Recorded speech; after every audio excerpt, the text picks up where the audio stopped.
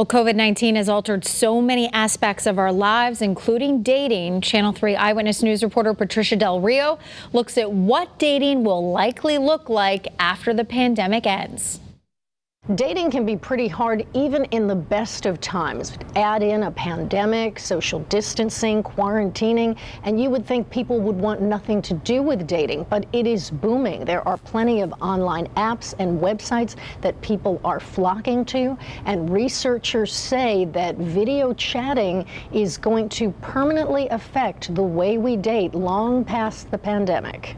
Online dating is now more popular than ever. Websites and apps for people of all ages and walks of life have been a source of refuge during the pandemic for singles looking to mingle. Many hesitant to meet people in person, at least right away, now doing Zoom or FaceTime dates. It's become the in thing, and relationship experts say that post pandemic video chatting is here to stay what singles are saying is that they're spending much more time on this video chatting, actually getting to know the person. They're having much more meaningful conversations with much more transparency and honesty and self disclosure. Dr. Helen Fisher, who studies relationships, says this past year people have seen death, illness, and financial hardship, and that's led them to get more real about things. It really is a phase of intentional dating.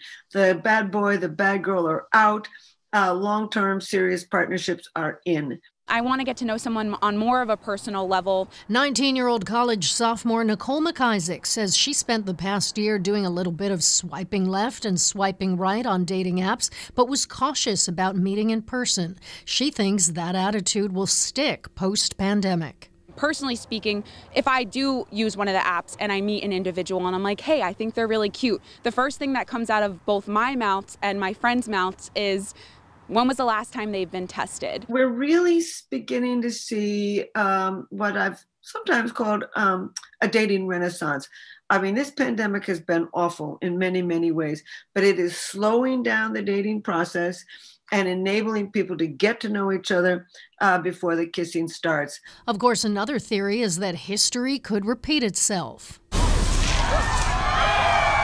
This scene from the film The Great Gatsby depicts the roaring 20s that followed the 1918 Spanish flu pandemic. It was a reaction, a time of people craving social interaction and fun, and it's possible the 2020s could be a sequel. I know when the pandemic's over, although I might be a little cautious at first, I definitely will be wanting to go out and interact with other people's and honestly live my best life. Dr. Fisher says that even so, people have realized during the pandemic they don't have to waste time or money on going out for dinner or drinks, and that pre screening people through video chatting is here to stay. If people begin to feel really safe again, maybe we will see something like the Roaring Twenties. I, regardless of that, I do think that we're going to do more video chatting because with the video chat, uh, you don't have to cope with sex, you don't have to cope with money, and you can get to know somebody before you end up going out with them. Whether it's a new Victorian era with conservative courtship or the roaring 20s 2.0, one thing's for certain post pandemic is that people will never want to be lonely and the human desire to find love will never change. I'm Patricia Del Rio, Channel 3 Eyewitness News.